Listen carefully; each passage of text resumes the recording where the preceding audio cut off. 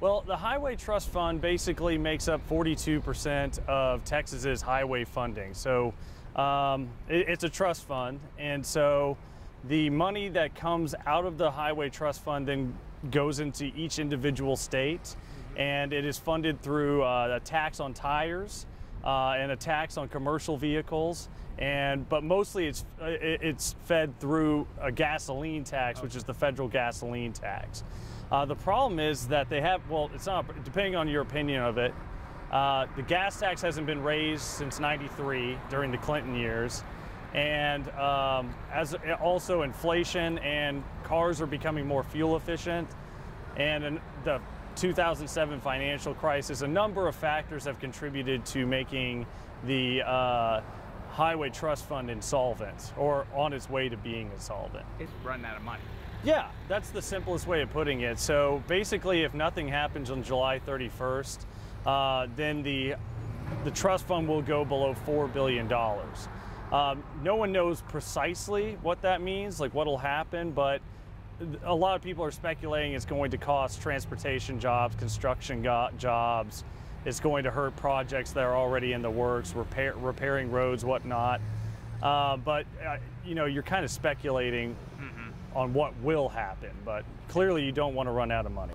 Essentially, what's happened is is that the U.S. Senate, Mitch McConnell, who's the House Majority, I mean, sorry, Senate Majority Leader, um, has a bill that they're trying to pass in the Senate that he has worked uh, with uh, Senator Inhofe, who is the chairman of the Public Works Committee, uh, and with Barbara Boxer, Democrat senator from California, on uh, on how they're going to fund the, the Highway Trust Fund going forward. Okay.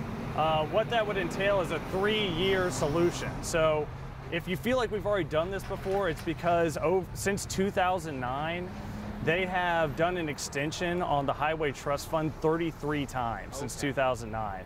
So they're finally approaching this problem for what it is, which is we need a long-term solution.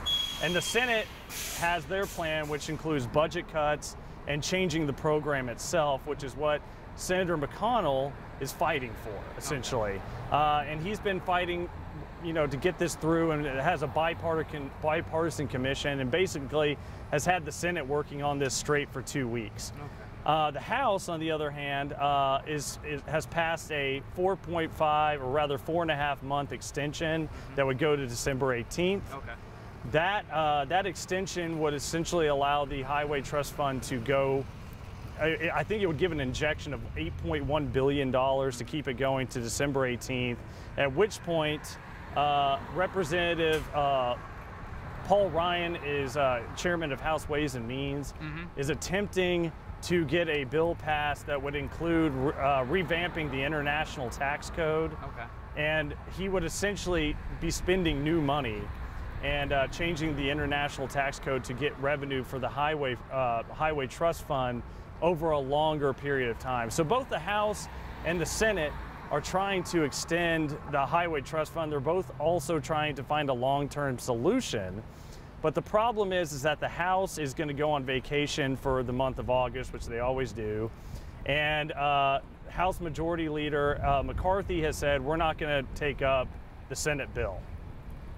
Um, and what that means for McConnell essentially is that if, uh, oh, I'm sorry, am I? No, no, you're good. Oh, okay. yeah, yeah. So McCarthy, McCarthy said he's not going to take up Mitch McConnell's bill uh, on the House, and the House is going to be leaving for the end of se- well, basically the August recess.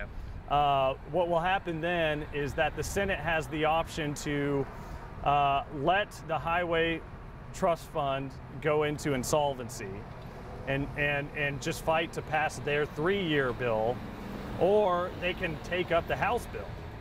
But uh, Mitch McConnell has openly opposed the House bill, has been openly fighting for his bill.